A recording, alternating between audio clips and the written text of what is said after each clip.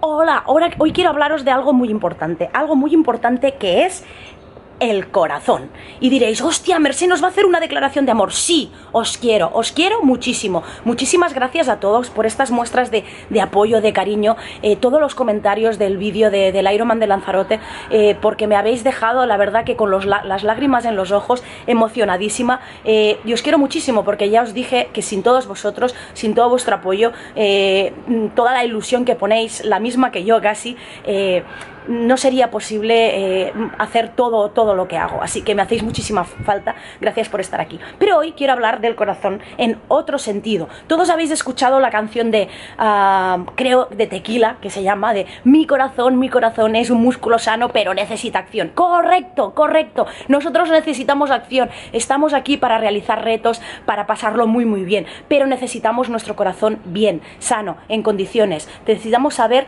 cómo está. Y muchas veces nos olvidamos lo que tenemos que hacer es siempre, siempre, siempre eh, una prueba de esfuerzo. Muchos nos lanzamos a entrenar sin haberla hecho. Yo fui la primera que lo hice en su momento, pero luego me di cuenta y ya me hice una prueba de esfuerzo. Eh, hoy lo que vamos a hacer es que vamos a ir con Miriam García, arroba Miriam Ruina, a eh, hacerse una prueba de esfuerzo. Ahora justamente le toca y creo que es una buena manera de, que vosotros podáis ver lo fácil que es, lo sencillo que es. En realidad es una inversión buenísima, la mejor inversión que podemos hacer porque así nos evitamos cualquier tipo de susto en el momento de, una carrera, así descartamos cualquier tipo de anomalía y si la tenemos, pues podemos ver cómo poner solución. Esto no significa que si nos encuentran algo, uy, ya se me acaba de correr. No, no nos asustemos. Hay veces que hay cosas que se tienen que tratar. Así que me voy para allí, os lo muestro y veréis lo chulo, lo fácil, lo rápido eh, y lo importante que es. Pues ya está, ya estoy llegando.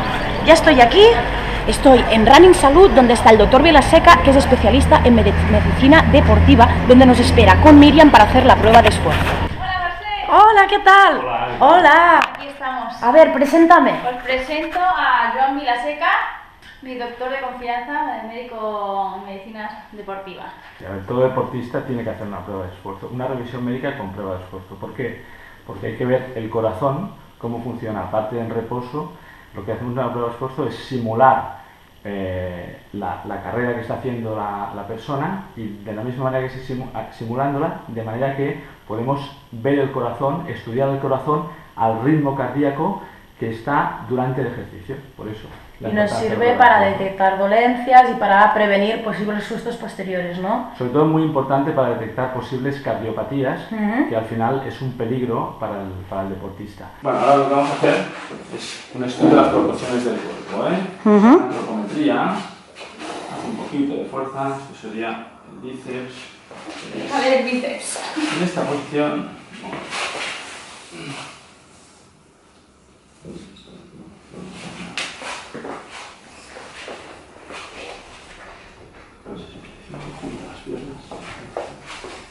Este no hace falta que lo digas. Nos vamos a guardar las medidas. Medidas las pongo día. Esto es el plicómetro. ¿eh? Esto es para estudiar el porcentaje graso. El porcentaje graso se estudia con la, el índice de masa corporal. Uh -huh. Es una fórmula del peso y de, la, y de la altura. Pero ¿qué pasa en los atletas?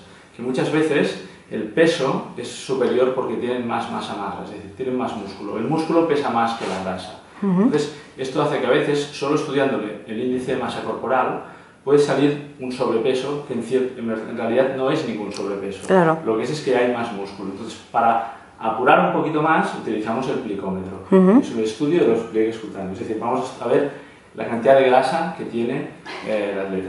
Es un secreto entre Vale. Esto tampoco se dice. lo decimos, lo dejamos en secreto. Sí. Secreto profesional.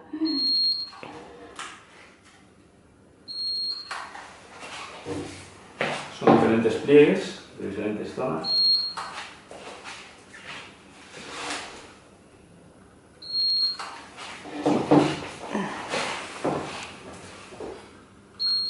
También lo que haremos sería, miraremos a nivel de traumatología, a ver cómo está la espalda, cómo son las rodillas, todo esto también está incluido en este tipo de revisión. Esto sería para ver el arco de, tu, de tus pies. En tu caso... Yo tengo mucho puente. Exacto. En, en, su caso, lo que tiene es mucho puente. Mira, igual aquí se ve reflejado. Exacto. ¿Por qué? Porque tendría que ir... Tendría más... que pisar un Exacto. poco aquí, ¿no? Exacto. Claro. Mira, si quieres poner la diferencia entre mí, para que veáis. Recordar esta imagen. Sí, yo sufro mucho al correr en, en los metatarsos. Claro, aquí tienes mucha más, mucho más punto de apoyo. Exacto. Ujú, Perfecto. Se ve, se ve clarísamente la, la diferencia entre uno y otro. Esta sería la diferencia, seguramente lleva plantillas tú. No, pero voy a necesitar. Claro. Porque sufro mucho de esta parte aquí delante. al correr. Yo sí que llevo eh, plantillas En también. condiciones normales igual no haría falta que, que hiciera plantillas, pero un deportista con estas cargas que tiene de los triatlones, pues obviamente si quiere seguir eh, disfrutando de su deporte sin tener dolencias en los pies, necesita un estudio de la marcha. No solo plantillas, un estudio de la marcha. Porque antes, antes no tenía dolor Claro. y conforme he ido haciendo me han salido los dolores. Venga, va, momento báscula. Ay, qué momento, qué momento, Miriam. Vale, ya puedes bajar, Sí, Miriam. este momento duele más que... Bueno, ahora. Aquí, mirando para allí, pero no. Exacto.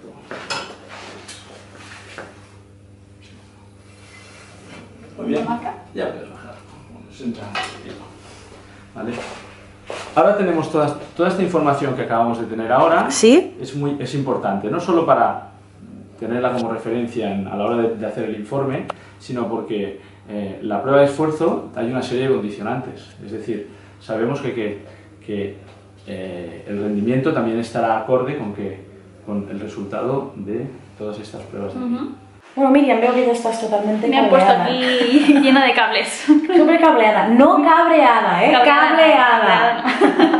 Vamos, eh, ¿qué vamos a hacer ahora? No, ya- Bueno, ¿Todo esto para qué es? Esto es, vamos a hacer primero un electrocardiograma basal, es decir, un electrocardiograma en reposo. Estudiaremos el corazón en reposo y después en ejercicio. Ah, perfecto. Ahora mismo se tomará Miriam y haremos el electro y haremos una auscultación, que es muy importante la auscultación. Auscultar el corazón, eh, a ver si hay algún soplo, alguna alteración del ritmo. Eso A ver qué dice. Bueno, pues Miriam está siendo sometida a un electrocardiograma. Vale, vamos a ver. pantalla. La ventaja que tiene este sistema es que no es el típico electrocardiograma que se hace- sale una tira de papel ni nada. Es decir, aquí lo que podemos estar es nuestros 2-3 minutos viendo el corazón durante, como veis, está todo el rato lo que está escaneando el corazón. Estas líneas de aquí que son, al final, el electrocardiograma lo que, lo que mide, lo que estudia es el impulso eléctrico del corazón a través de los electrodos desde varias perspectivas. Esto se traduce en estas ondas y estas ondas tienen que tener una forma determinada. Cuando hay alguna alteración en el corazón, salen alteraciones en estas ondas. Vale. Por eso se estudia el electrocardiograma de esta manera. Es el estudio del impulso eléctrico del corazón. Bueno, ¿ahora qué es lo que vamos a hacer? Pues nos disponemos a empezar la ergometría o la prueba de esfuerzo. Vale, Miriam en la bicicleta. Monitorizada. Miriam, ¿preparada? Preparada. A ver si te va a dar un calambre esto, ¿eh? Pues vamos, aquí tienes en la pantalla del ordenador. Sí, la pantalla del ordenador está el, el corazón de Miriam monitorizado. Entonces, vale.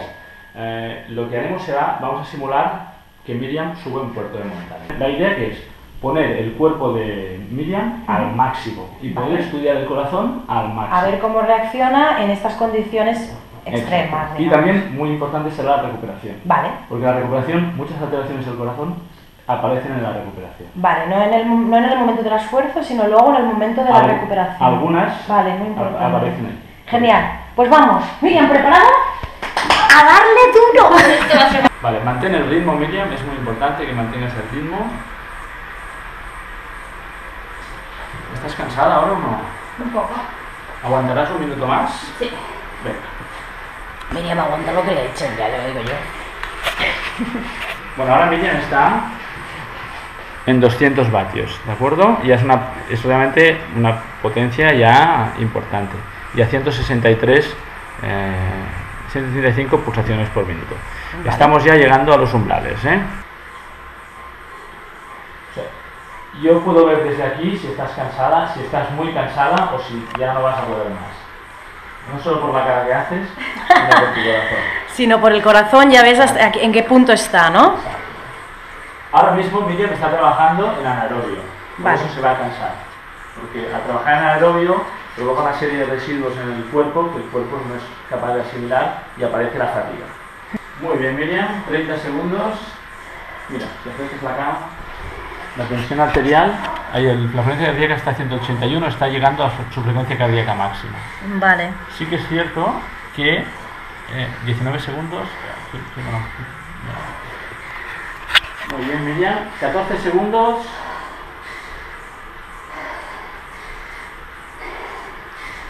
Siete segundos. Cuidado que viene bajada ahora. Siéntate, siéntate.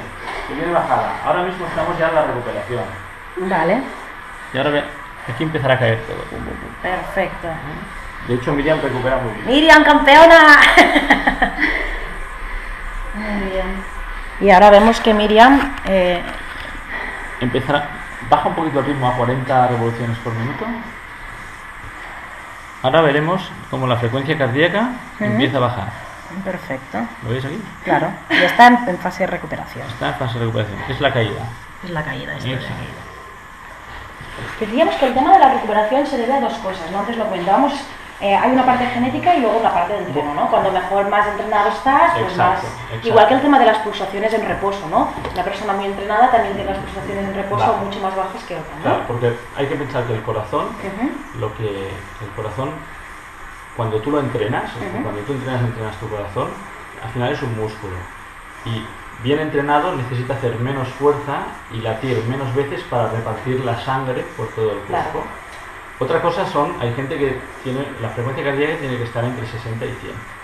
Normalmente los atletas tienen lo que se llama una bradicardia, por debajo de 60. Hay gente eh, que aparte del entreno, genéticamente tiene pulsaciones muy bajas, que están a 40 pulsaciones, 36, 37. No es sano eso tampoco. Uf, qué ¿de bajo, acuerdo? claro. Es muy bajito y eh, sobre todo cuando a, mm, a medida que se hacen mayores tienen que llevar bastante control. Vale. ¿eh? vale. Pero normal los atletas es tener una frecuencia cardíaca entre 48 y 52, 53. Eso Perfecto. sería normal. Muy bien. Bueno, ya estamos de la prueba. ¿Cómo ha ido? Bueno, ha ido muy bien. La verdad es que el- estás bastante bien entrenada. Recuperas muy bien. Verdad Al menos algo bien tengo. Lo más importante es que médicamente la prueba ha salido bien. Hay la fiebre esta de- del running y la fiebre de los retos y que yo siempre digo que está muy bien, que es genial, que es, yo creo que es mucho mejor que quedarse en el sofá, pero que hay que tener un mínimo control de la situación, ¿no? Es decir, eh, no podemos ahora coger, eh, levantarnos del sofá y correr 42 kilómetros así de primeras a primeras, sino que hay que hacer un entreno. Lo mismo, pues eh, en todo, hay que tener un control pues, del corazón, de nuestro estado físico, hay que comer bien, es decir, yo creo que es un, un conjunto de cosas que hay que hacer bien. Y una de las que hay que hacer muy bien y que hay que tener en cuenta y que es la que muchas veces se olvida, nadie se olvida de entrenar antes de ir a correr, pero mucha gente sí que se olvida de hacerse una prueba de esfuerzo porque dicen, bueno, eh, no me pasará nada. Exacto. Y bueno, vale la pena. No está de más No. y no Ah. es un gasto tan elevado que vale Que va, yo creo que es la mejor inversión porque realmente en relativo es que eh, comparado con la mayoría de cosas que nosotros necesitamos para hacer cualquier prueba, esto es que es un regalo, es que es baratísimo. Exacto. Entonces- Mucho más barato que unas zapatillas. Totalmente, que Aparte una- la salud es, es- y aparte la salud es lo primero, es decir, nosotros igual. tenemos este, tenemos este cuerpo que, que es nuestro vehículo principal y sin él no podríamos hacer nada. Vamos a hacer una cosa, si os parece. Em, vamos a, para todo el mundo que comparte este vídeo y que llame- Sorpresa, sorpresa. os voy a dejar aquí abajo el enlace, ¿vale? Para que podáis entrar, consultar, ver y si queréis pedir hora, si vais de parte de Miriam o de mi parte, vamos, vamos a hacer un descuento, ¿sí? Un 10% de Un 10% de descuento. El precio ya está súper bien, pero si encima está este descuento. Así que a compartir el vídeo, a llamar, a comprometeros con vosotros mismos y lo que os digo siempre, a disfrutar que son dos días. Nos vemos en el próximo vídeo.